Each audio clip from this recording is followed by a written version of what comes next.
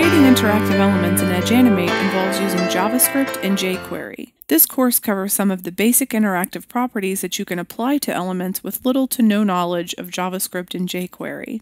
However, if you're a professional coder or take the time to learn to write JavaScript, then you'll be able to easily create more complex interaction using Edge Animate. In this lesson, we're going to explore the code panel, creating labels, using labels as references, creating visual feedback, and adding HTML content. In the last lesson, you were introduced to the script panel. The script panel is where you added code to create interactive elements. The code panel is where you go to see all the code for your composition. This includes all the elements and all the animation. You'll use the code panel more and more as you start to add interaction to your compositions, therefore inputting code to create events and actions. You can view code, check for errors, and edit the code in the code panel. To view the code panel, go to Window, Code.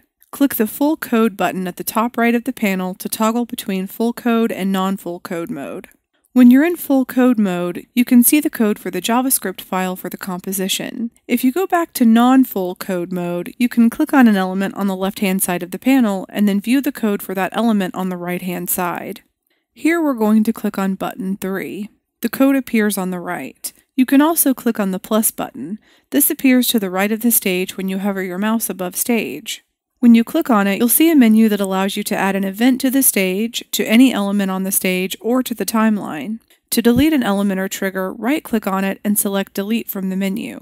If there are any errors in your code, Edge Animate will let you know at the bottom left corner of the panel. Since we don't have any errors, we see no error. If there were an error, Edge Animate would tell you where the error occurred. If you looked at the code, a red dot would appear by the line of code that contains the error. Let's delete this part of the parenthesis and I'll show you what it would look like. So now there's a syntax error at line 4. If we look at line 4, we can see a parenthesis is missing because it's the one we deleted. So let's correct the error. When we do, the error message goes away. If you make any change to the script when in either full or non-full code mode, the changes are saved in the composition. Thus far, we've used time in milliseconds to reference a point on the timeline when creating JavaScript code. The problem is that if you need to increase or decrease the length of an animation, you'll also need to adjust the time in the code. To get around this problem, you can use labels instead of time in your arguments. Labels represent points on the timeline. They can also move with your animation. That means if you need to increase or decrease the length of an animation, the labels move also. To create a label, click the downward arrow in the timeline. A text field will open up to the right of it. Enter a name for the label.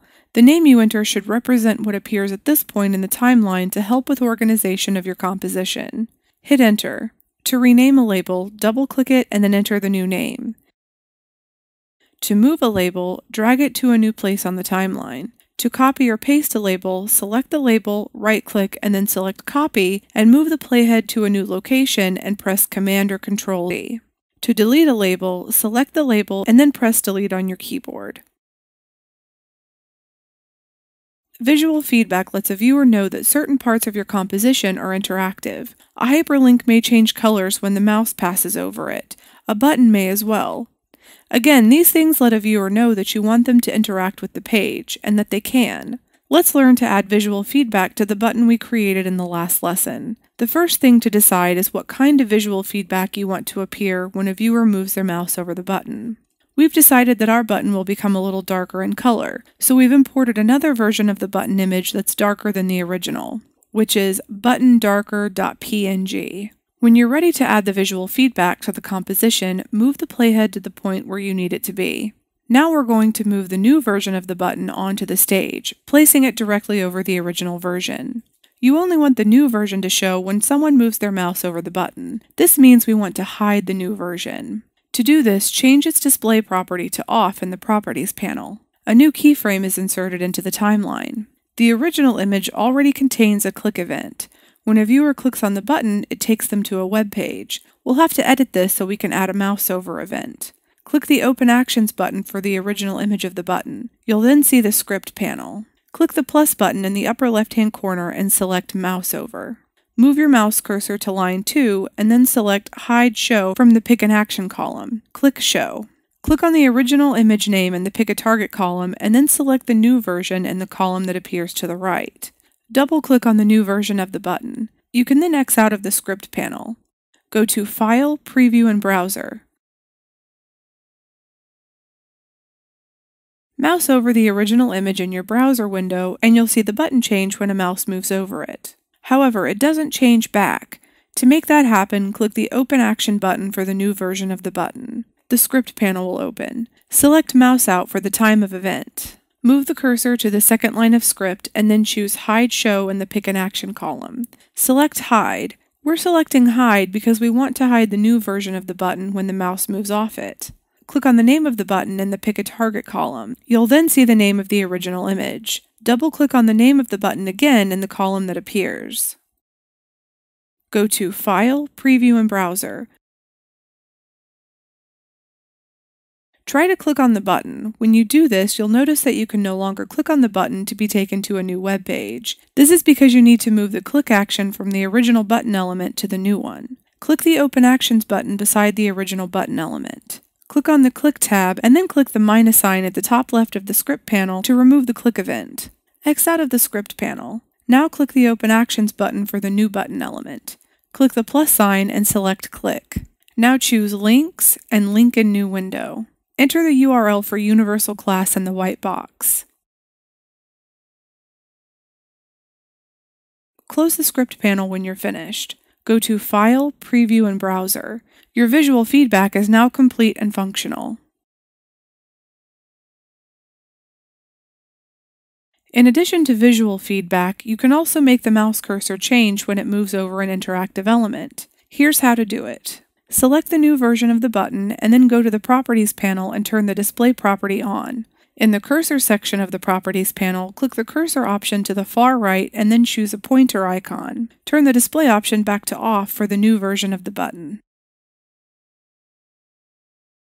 In the last lesson, we learned how to add a hyperlink to a button. However, what if you just want to insert a hyperlink into text, or create placeholder text on the stage that's replaced with the actual text when displayed in a browser window? To do that, you'll use HTML.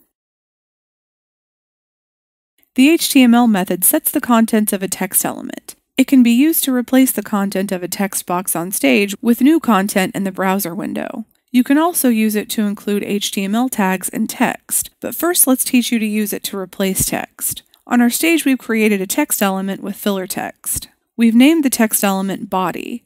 We're going to replace this text with different text. To do this, we first go to the timeline panel and click the Open Actions button for the stage element. In the script panel, we select Composition Ready as the event. On line 2, enter this line of code. Please note that body is the name of our text element. Yours may be different. X out of the script panel when you're finished. If you go to File, Preview, and Browser, you'll see the text you entered into the script panel displayed in your composition. You can also turn a word or section of text within a text element into a hyperlink. For example, if we wanted to turn the word text into a hyperlink, we could do so. Click on the Open Actions button beside the stage in the Timeline panel. Since we want to turn the word text into a hyperlink, we'll write the code around the word text. This is how it should look in the script panel. When we preview our composition in a browser window, we can see the hyperlink.